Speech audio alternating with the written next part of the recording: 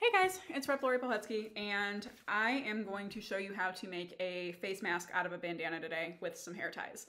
Uh, so we all know that the CDC guidelines and uh, the governor's EO states that you should be wearing a um, face protection when you are out in public. So um, it's also really hard to get some of those masks sometimes if you order them. Uh, so it's pretty easy to make them at home, actually. If I can do it, you definitely can. So I have a bandana here. I'm just gonna lay it out flat and fold it kind of into thirds so it meets in the middle. It's not quite in the middle, but it's close. So now it's like that big. And then fold it over once more so that you still meet it along that same foldy seam that you made. So now it's like that, and it's got this opening right here. So then I'm gonna take my hair ties and I ended up using some that were a little stretched out. Ladies out there, fellas, if you use them, you know what I mean. Um, it was just easier to tuck them behind my ears. But, so I went in about that far. Obviously, it's gonna depend on how big your face is, but did that, and then I did it a second time.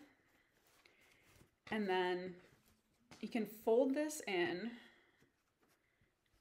so it's like that. And then tuck it into the fold that you've made. And then I tug, I hold it down. And you can also like, I, I, I, what I saw in the YouTube video, sorry, my dog's making noise, guys. That's the beauty of doing all this during quarantine. Um, uh, you can like use a stitch or some glue or something. I would like to reuse this bandana, so I'm not going to. Um, but I tighten it with that. And then you do the same thing over on the other side. Same thing here, like that. Tuck it into the fold. Oh, fold it over, I'm sorry. And then tuck it into the fold like a pocket. Fold that over, hold it down, stretch it out, and then